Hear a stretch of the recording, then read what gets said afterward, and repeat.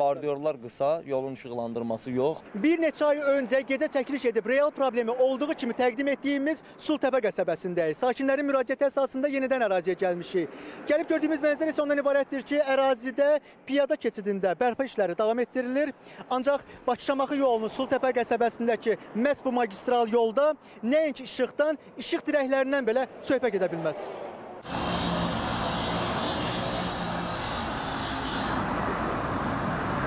Bizə lazımdır ki, bax bu ərazidən, buradan, bu evlərdən aşağıdan şagirdlər keçir, gəlir bura məktəbə.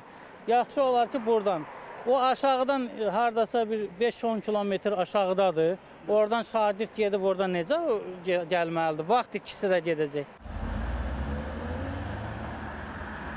Hər an mən özüm də daxil olmaq şərti ilə şagirdlərimizi sanki təhlükə altındadır.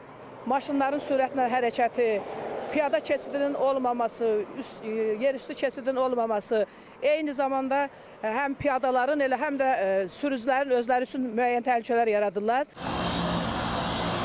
maksimal yol 70-lik olsa belə, axşam hava qaraldıqda yollarımız çox təhlükəli olur.